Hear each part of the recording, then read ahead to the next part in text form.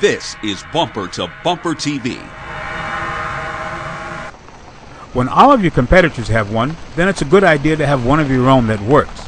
For Hyundai, that meant building a hybrid platform for the midsize Sonata sedan, but in this case, it might not have been necessary.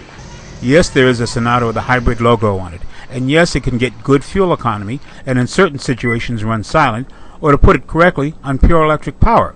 But what makes it different?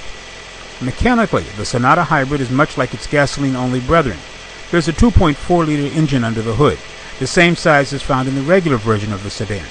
Only this is an Atkinson-style motor that works on a hybrid platform combined with a polymer battery-powered electric motor which generates 206 horsepower. Unlike many other hybrids that are tied to CVT gearboxes, the Sonata has a true six-speed automatic transmission. This version of the hybrid maintains the same interior dimensions of the regular sedans, but gives up about 6 cubic feet of cargo space for needed battery room. And for the record, its fuel tank is nearly three quarters of a gallon smaller than the gasoline version.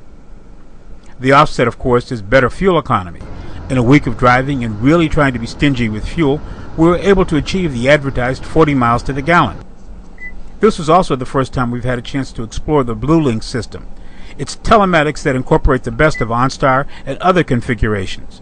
At the same time, it's engineered to accept future enhancements to mobile devices for the use of Stitcher, Pandora, and other app-based programs on the display screen. At a curb weight of 3,400 pounds, the Sonata Hybrid is heftier than the gasoline version. We can only wonder will that number change along with even better fuel economy when this platform gets a technical or visual refresh sometime in the near future. This is Greg Morrison. We want to know what you think, so email us. The address is bumper to bumper TV at cs.com.